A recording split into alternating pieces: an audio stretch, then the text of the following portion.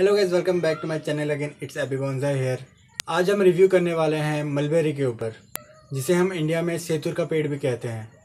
सेतुर के पेड़ में रेड रेड कलर की बेरीज ग्रो होती है, जो पहले ग्रीन रहती है, फिर रेड होती है, बाद में ब्लैक होकर पक जाती है और वो खाने में बहुत ही मीठा लगता है। तो गाइज़ आज हम लोग देखेंगे क्या मलबेरी का जो पेड़ है, वो बहुत लोग रिकमेंड करते हैं बॉन्जाई बनाने के लिए। क्या वो अच्छा पेड़ है एक बॉन्जाई बनाने के लिए, या उसमें बहुत सारे मिस्टेक्स है, ये हम लोग आज के एपिसोड में देखेंगे। हम लोग कुछ गुड पॉइंट्स और कुछ बैड पॉइंट्स पर ध्यान देंगे, उसके बाद हम लोग डिसाइड करेंगे कि वो अच्छा मटेरियल है बॉन्जाई बनाने के लिए या नहीं। सो so गाइज़ चलते हैं मलबेरी के कुछ बैड पॉइंट्स की तरफ़। सो so गाइज़ कई बार ऐसा होता है कि मलबेरी का जो ब्रांच है, वो वायरिंग एक्सेप्ट नहीं करता है। अगर आप उसको वायरिंग करोगे, पूरे पेड़ में अगर चार से पाँच वायरिंग करोगे तो हो सकता है उसके ज़्यादातर जो ब्रांच है, वो ग्रो करना बंद कर दे। क्योंकि आप उसको वायरिंग करके बैंड करोगे, उसके नेचर के खिलाफ उसको नीचे झुकाओगे तो वहाँ से वो ग्रोथ नहीं देता है बाद में। वो क्या करता है कि कहीं और से ब्रांच ग्रो कर देता है जो उसको सीधा ऊपर लेके जाए। ऐसा नहीं है कि हर बार आपका मलबेरी वायरिंग एक्सेप्ट ना करे। कई बार ऐसा होता है जो ब्रांच अच्छे से ग्रोथ कर रहा होता है, उसको अगर आप थोड़ा थोड़ा करके धीरे धीरे वायरिंग करके बैंड करते जाओ तो बहुत अच्छी तरीके से वायरिंग ले लेता है। नेक्स्ट बैड पॉइंट की तरफ़ चलते हैं। गाइज़ मलबेरी का जो पेड़ है, उसको बहुत ही ज़्यादा स्पेस चाहिए। तो गाइज़ जब आपका बॉन्जाई कंप्लीट हो जाए, तभी आप उसको एक छोटे से बॉन्जाई पॉट में शिफ्ट कीजिए वरना तब तक उसको एक बड़े बड़े पॉट में ही ग्रो कीजिए, वरना आपका ग्रोथ है कि बहुत स्लो हो जाएगा। उसके रूट्स कई जल्दी फैल जाते हैं, जिसकी वजह से अगर उसको स्पेस ना मिले तो वो अपना ग्रोथ रोक देता है वहीं पर गाइज़ अगर आप मलबेरी ग्रो कर रहे हैं कटिंग से तो मैं रेकमेंड करूँगा कि आप एक मेच्योर और एक बड़ा कटिंग लें। आप छोटा सा स्टिक जैसा या एक पेंसिल जितना है कटिंग से ग्रो मत कीजिए, जिसमें बहुत ज़्यादा आपको टाइम लग जाएगा ग्रो करने में। गाइज़ अगर आप मलबेरी का बॉन्जाई बनाना चाहते हैं तो मैं रिकमेंड करूँगा कि आपको एक बड़ा सा मेचर और थिक और मोटा तरीके का कटिंग ले, जो बहुत ही जल्दी आपको बॉन्जाई बना देगा। पर अगर आप बॉन्जाई बना रहे हो तो आप उससे पतली कटिंग से बिल्कुल ना लगाइए। पर अगर आप सिर्फ़ उसको एज अ पेड या सीडलिंग लगाएँगे तो आप एक पतली कटिंग ले सकते हैं। बट वो किसी भी तरीके की कटिंग ग्रो कर जाता है, मगर आप उसको मानसून में ग्रो करोगे तो ही वो अच्छे से ग्रो करेगा। बाकी किसी भी सीज़न में वो कटिंग अच्छे से ग्रो नहीं करता। तो गैस चलते हैं अगले बैड पॉइंट की तरफ़। मलबेरी का जो पेड़ है, वो बहुत ही जल्दी ग्रो हो जाता है। एक साल के अंदर वो छोटी से सीडलिंग से पाँच से छः फुट तक वो ग्रो कर सकता है, अगर उसको एक अच्छा स्पेस मिले तो। पर वो मेच्योर जल्दी नहीं होता है। आप देखेंगे कि आपका पेड़ बहुत ज़्यादा घना हो गया है, बहुत ज़्यादा मोटा हो गया है रूट बहुत अच्छे से डेवलप हो गए पर उसका जो ट्रंक है या उसका जो छाल है, वो जल्दी मेच्योर नहीं होता। वो हमेशा कच्चा का कच्चा ही रहता है, पर उसको टाइम लगता है। चार से पाँच साल बाद वो अच्छे से मेच्योर हो जाता है। बट आप ये एक्सपेक्ट नहीं कर सकते कि आपका वो पेड़ जल्दी मेच्योर हो जाए। गाइज़ मलबेरी का जो ट्री है, वो बहुत ज़्यादा फाइबर रूट्स ग्रो करता है, पर उसका प्रूनिंग आपको करते रहना पड़ेगा। मलबेरी के जो रूट्स हैं, वो बहुत जल्दी जल्दी मोटे भी हो जाते हैं। जितने ज़्यादा रूट उतने ज़्यादा मोटे। तो आपको ये ध्यान रखना पड़ेगा कि आपके उसको रूट को प्रून करते रहना पड़ेगा।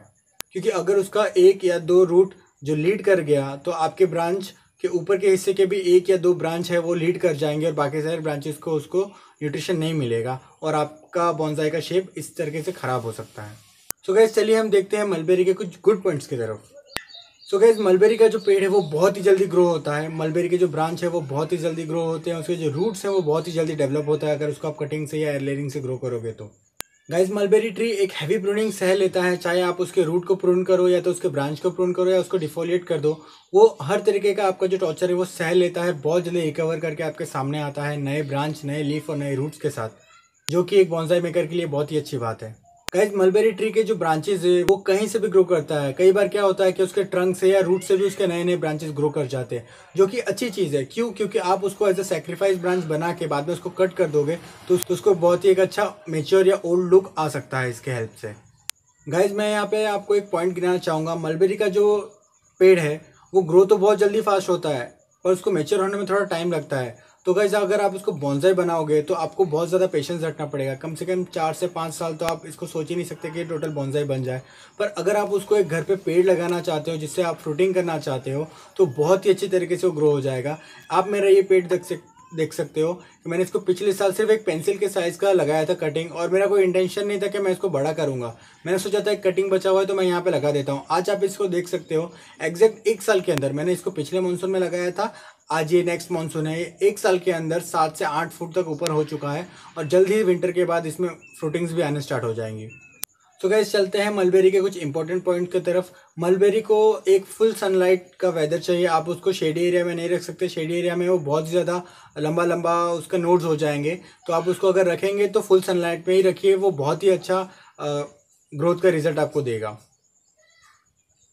और गाइज़ मलबेरी को फर्टिलाइज़र की ज़रूरत बहुत होती है अगर आप उसमें फ्रूटिंग करना चाहते हो, क्योंकि लोग मोस्टली फ्रूटिंग के लिए ही उसको बॉन्जा या तो सीडलिंग लगाते हैं। तो आप उसको फर्टिलाइज करते रहिए, उसमें कंपोस्ट यूज़ कीजिए लिक्विड फर्टिलाइज़र डालिए, उसमें पर स्प्रे कीजिए। जितना ज़्यादा आप उसको खाना दोगे, वो उतना ज़्यादा फ्रूटिंग आपको देगा। और गाइज़ मैं रिकमेंड करूँगा कि आप मलबेरी का अगर बॉन्जाई ग्रो कर रहे हो तो उसको छोटा सा बॉन्जाई मत बनाइए। मामे या शोहिन बनाने का ट्राई मत कीजिए। अगर आप उसका बॉन्जाई बना रहे हो तो उसको दो से तीन फुट से बड़ा बॉन्जाई बनाइए तो ही आपका शेप जो है बहुत अच्छी तरीके से आएगा और आपका बॉन्जाई कंप्लीट होगा। और वो दिखने में उतना ही बेहतर लगेगा। और गैस जैसे मैं कहता हूँ कि अगर आपको बॉन्जा ग्रो करना है तो सबसे पहले आप उसको या तो बड़े पॉट में रखिए, या तो उसको मिट्टी के अंदर लगा दीजिए, उसको बड़ा होने दीजिए। बड़े होने के बाद उसको प्रून कीजिए। फिर उसको अच्छे से सारा ब्रांच ग्रो करने दीजिए, पत्ते ग्रो करने दीजिए। आप उसको प्रून कीजिए साल दो साल के बाद। जब आपको लगे कि एक बेसिक स्ट्रक्चर बन चुका है बॉन्जाई का तब आप उसको मिट्टी से निकालिए या बड़े पॉट से बाहर निकालिए और धीरे धीरे उसको छोटे से पॉट में शिफ्ट करते रख जाइए। पर आप उसको छोटे से पॉट से ही ग्रो मत कीजिए, क्योंकि आप उसको छोटे से पॉट से ग्रो करेंगे तो जल्दी ग्रो होने वाला है नहीं और आपका जो बॉन्जा बनाने का सपना है वो और भी डिले हो जाएगा। जितना छोटा पॉट, उतना ज़्यादा टाइम आपको लगेगा उसमें से बॉन्जा बनाने के लिए। और गाइज़ मलबेरी ट्री भी बाकी पेड़ों की तरह ही है, जिसको वेल ड्रेनेज सॉइल ही पसंद है। उसको ऐसा सॉइल दीजिए जिसमें से पानी अच्छे से निकल जाए, पानी वहाँ जमा ना हो, ताकि उसके रूट जो है वो सड़ ना जाए। तो गाइज़ ये थे कुछ गुड पॉइंट्स और बैड पॉइंट्स मलबेरी ट्री के ऊपर, कि आप उसको बॉन्जाई कैसे बनाएँ और कैसे उसके सीडलिंग्स लगाए। तो गाइज़ हम देते हैं मलबेरी ट्री को बिग फैट थम्स अप आप उसको ज़रूर ग्रो कीजिए एज अ बॉन्जा ग्रो कीजिए तो सीडलिंग से उसको लगाइए, घर पे रखिए, उसको फ्रूटिंग कीजिए एंजॉय कीजिए ग्रोइंग को। और अगर गाइज़ आपको ये वीडियो अच्छा लगा होगा मेरा तो प्लीज़ इस वीडियो को लाइक कर दीजिए और सब्सक्राइब करना बिल्कुल मत भूलिएगा और उस बेल आइकन को भी दबा दीजिए ताकि जब भी मैं अपना वीडियो अपलोड करूँ, आपको नोटिफिकेशन मिल जाए। और गाइज़ आप मुझे फॉलो कर सकते हो मेरे इंस्टाग्राम पे। मैं नीचे अपना आईडी दे दूँगा, आप मुझे वहाँ फॉलो कीजिए। कई सारे लोग मुझे वहाँ पे मैसेज करते हैं तो मुझे उनके कमेंट्स जल्दी मिल जाते हैं, मैं उनको वैसे हेल्प कर पाता हूँ। कई बार कमेंट सेक्शन में मुझे आपके कमेंट्स दिखते नहीं हैं तो बेटर रहेगा कि आप मुझे इंस्टाग्राम पे मैसेज कीजिए, मैं वहाँ आपकी ज़्यादा बेहतर हेल्प कर पाऊँगा। Thank you guys for watching